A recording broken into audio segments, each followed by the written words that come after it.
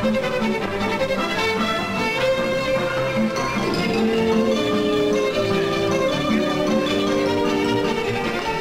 winter campers from the 2nd Westminster and the 20th Ealing Troop, proving just how tough they come in the scouting movement these days and what wonderful scenery you can enjoy if you press on regardless and learn to live under canvas even when the blizzard blows all round.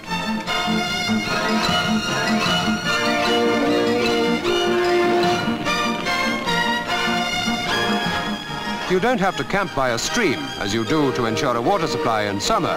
Once you've got a fire going, you can find drinks all round.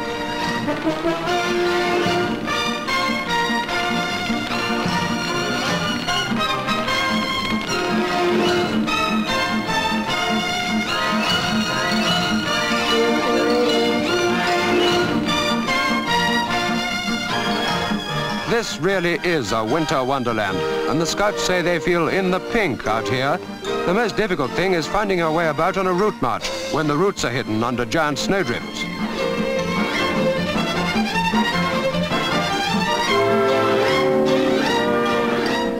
Some people heave snow about out of sheer